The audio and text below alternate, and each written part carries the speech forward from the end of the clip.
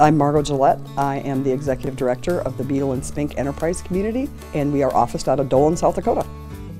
Doland is a very, very nice small town. The people here are wonderful. They're very involved in their community.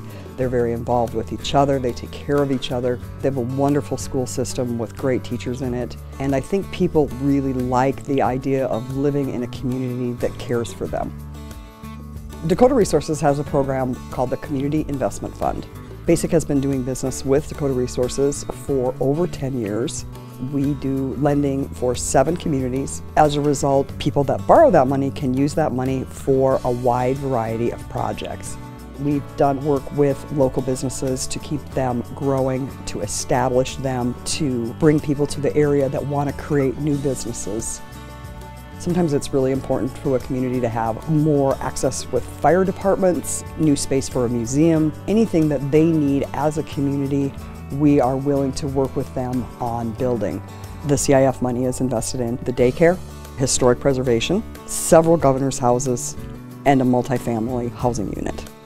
So this is your traditional three-bedroom governor's house, and it has two bathrooms. It does have a full basement, if you want to take a look at the rest of the house, it does have a laundry room. It's got the furnace and the hot water heater upstairs.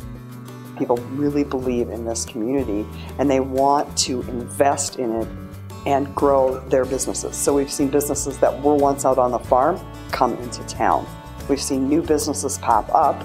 We have an area just to the east of town, which has a trucking company, storage sheds, and a propane company starting to build as well and we expect to see more businesses locate there eventually. BASEC's ability to access funds from Dakota Resources is truly a blessing.